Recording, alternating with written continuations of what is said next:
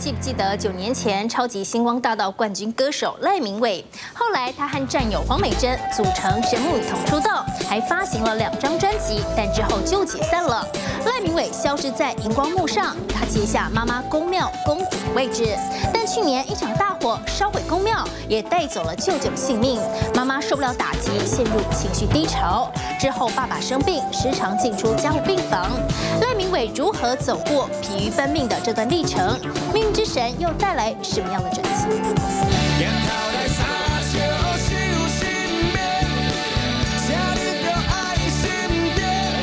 化浓妆弹的电吉他，还请来八家将助阵，摇滚音乐结合正头文化，创新的表演让赖明伟在选秀节目里一举夺下冠军。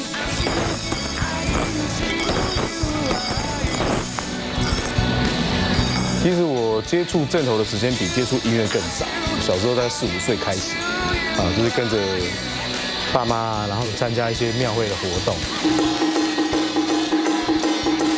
站在那个小那个小货车上面，然后垫着椅子在那边打大鼓。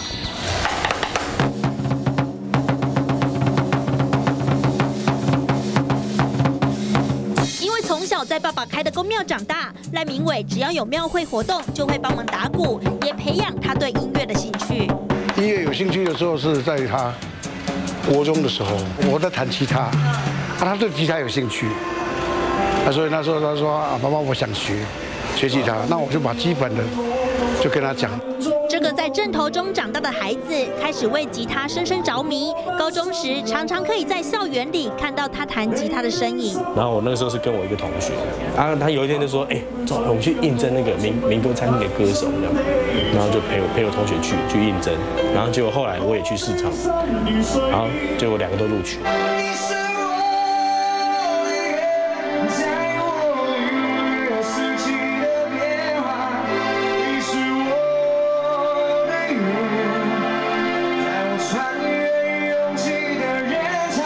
就骑着摩托车，哪里有有餐厅可以唱就去唱。我觉得那个时候是刚好找到一个平台，能够发泄我那个非常旺盛的表演欲。却也因此荒废学业。大学联考成绩出来，赖明伟上不了理想的学校，他决心重考。为了一年十几万的补习费，他一天做了三份工作。我上完的大夜班啦、我下班之后去送羊奶，啊，然后白天从十二点半，十二点半开始唱民歌餐厅的驻唱，然后唱到晚上，那晚上十一点多再去上完奶上班，这样的生活过了半年。那后来半年之后身体受不了，所以说啊，干脆专心来做驻唱。你的掌心，你的温柔，点燃了我，点燃了寂寞。一个小时三百，啊，可是我们是就是看场的嘛，就比如说我一场一场是一个小时，那我一天如果有七场，那我一天就有哦两千多块。餐厅驻唱一唱就是七年，也让他认识了好妈吉萧敬腾。他唱我上一场，然后他他下班之后还留下来听我唱，然后唱唱唱，然后唱着唱他跑上来玩，所以我们那个时候就大家的那个感情啊交情都很好。我真的真的不愿意就这样陷入爱的陷阱。然后有一天他跟我讲说，哎、我们去报那个超级星光大道，我说他要去报，然后我要也去报，然后我说哦好，帮我考虑一下。然后后来他好像是报了第二届的报名，但是那时候要找 PK，然后 PK 的人不多，所以从第二届的报名名单里面找找人去 PK。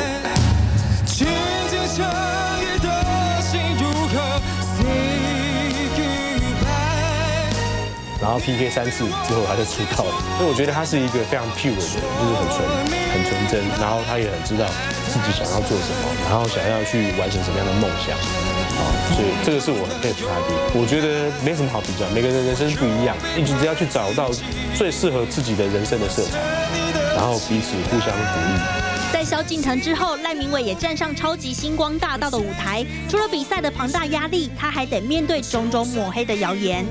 啊，因为那个那时候比赛有讨论版嘛，他说赖明伟哦，他有烟毒前科，他说他吸毒，以前跟我关同房。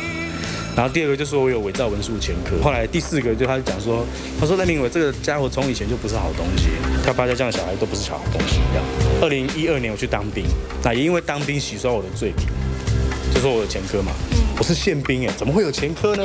面对网络上的霸凌，赖明伟选择忍气吞声。他靠着歌唱实力，一路过关斩将，获得冠军。之后跟战友黄美珍组神木一同出道。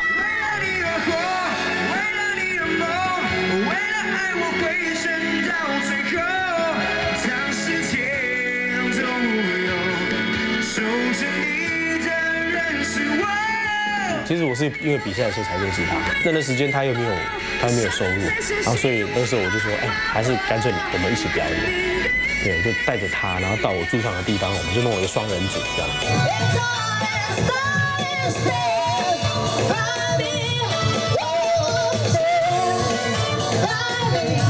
然后就从那个时候开始培养默契，然后一直到比完赛，然后我们当时唱片公司在说，哎，对，我说哎，既然两个默契这么好。然后那个时候因为一个比赛的关系，桃子姐开玩笑就说：“哎，我们两个炒绯闻。”她说：“啊，来弄个团体好了。”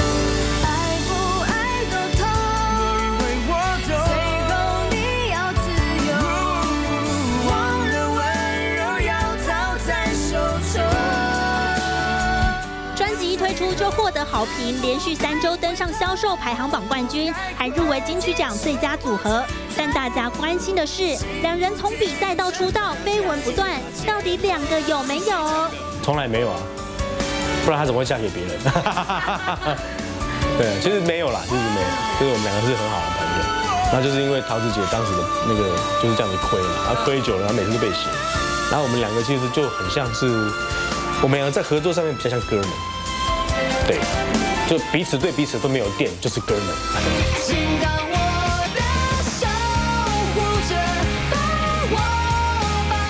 所以其实有很多人在问我们神秘团这个为什么后来没有继续？有人说，哎，你们是不是不和啊，打架啊，扯头发？哦，没有啊，只是合约到期，然后我们也没有继续续约。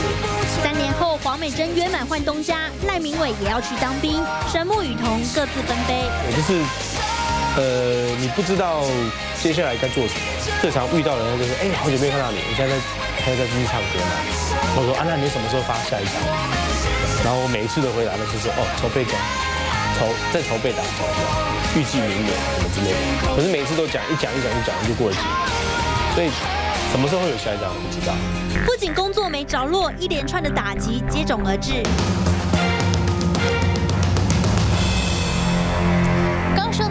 歌手赖明伟虽然夺下冠军，也和黄美珍组了神木雨桐出道，但就在出了两张专辑之后解散。面对大家的探寻目光，赖明伟只好故作坚强，但内心却是一片茫然。这个时候，他接下家族公庙，从歌手化身为公主，但接连面对了火警跟亲人过世的打击。赖明伟如何走过一场神秘的梦境，又为他带来什么改变？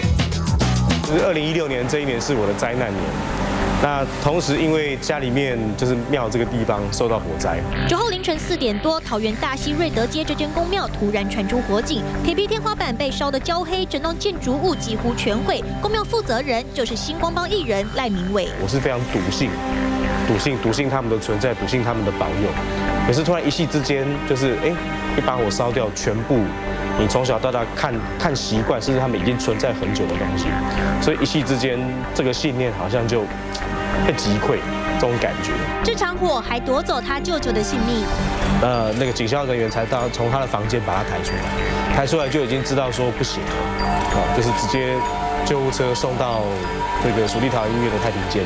我妈妈也在现场，她看到看到自己的哥哥从火场火场这样这样抬出来，而且不行了。所以打击太大，他当场昏倒。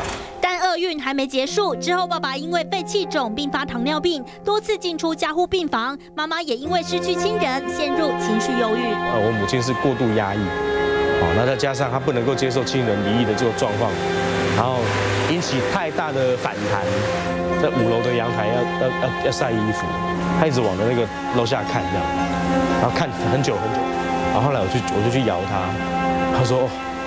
都好险没有咬我，而我刚刚一直想要跳下去，就是已经到到了情绪非常紧绷，而且没有出口。坏事接踵而来，让赖明伟疲于奔命，他的身体也出状况了。所以那一听到了警笛声，就是你好像又回到三月九号当天这样，然后整个晚上没办法睡觉，心跳加快，然后就是情绪也不太能够平复啊，而且严重影响到睡眠，所以我将近去年大概有将近半年的时间没有睡好。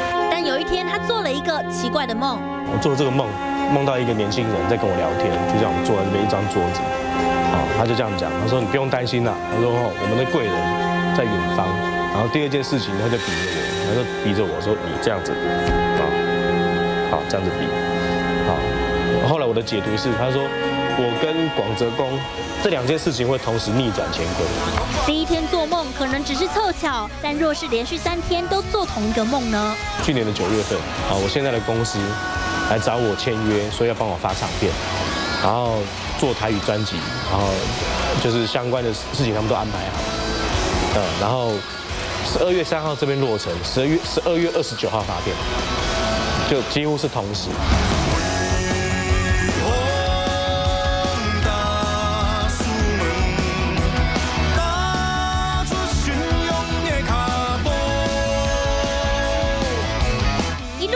路上的坎坷冷暖，只有自己感受最深。沉寂六年半再出发的首张个人台语专辑，也入围金曲奖最佳台语男演唱人。我爸那天其实本来是要是要陪我走星光大道的，虽然最后是我自己走啊，不过那一天是我爸跟我妈妈哦，他们有一起到现场去哦观礼，对啊，所以其实当下虽然没有拿到奖，就是有入围啊，那我觉得呃，其实也已经也已经很开心的了。入围是对他、对我们、对我们是安慰，对他是很好的鼓励。可是我也知道他不会中啊，他后面啊进步的空间很大。如今事业重上轨道，三十三岁的赖明伟，感情世界是否有一人相伴？感情生活其实我反倒是，呃，我觉得顺其自然。我们家比较特别，我们家是个大家庭，对，然后我们还有我们信仰中心要服务啊什么，所以我觉得要当我太太会很辛苦，要能够融入我的生活，然后可能融入我的家庭，所以那不是一个简单的事情，所以我觉得随缘。